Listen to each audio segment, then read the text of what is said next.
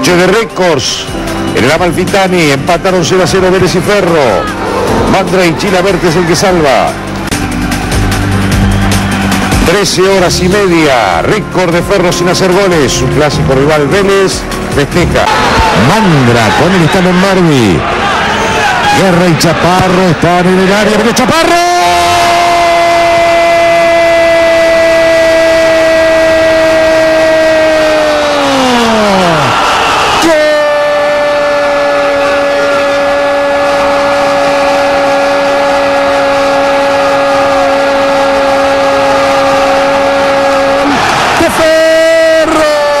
Es el primer gol que hace en el campeonato.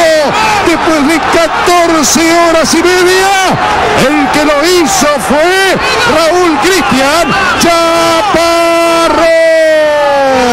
A los 18 del segundo tiempo, Ferro 1, River 1 una jugada realmente curiosa. La pelota estaba casi perdida en la izquierda. Vino Mandra, tomó contacto.